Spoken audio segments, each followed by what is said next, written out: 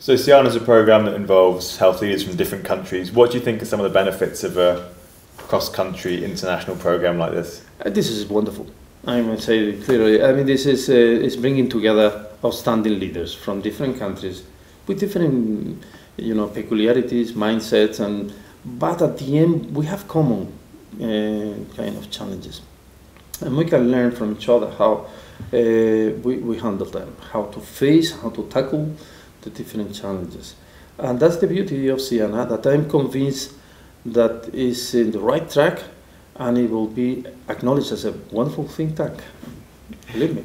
You know, I think there's there's the sheer interest in understanding each other's health systems. Um, there is the uh, sense of working together in less familiar settings. Um, I mean, I, I guess the, the current three countries are in themselves relatively close to each other in terms of cultural and, and other aspects, um, the design of the health systems, the design of the workforce, um, and the problems that they face. I, I think I'm right in saying that there is possibly a, a, a, an idea of extending the network more broadly, and that, that I think would be a very good thing. Um, complex in some ways, but it would possibly bring in slightly uh, further variety in, in um, the types of structures and, and approaches that, that are um, out there in Europe.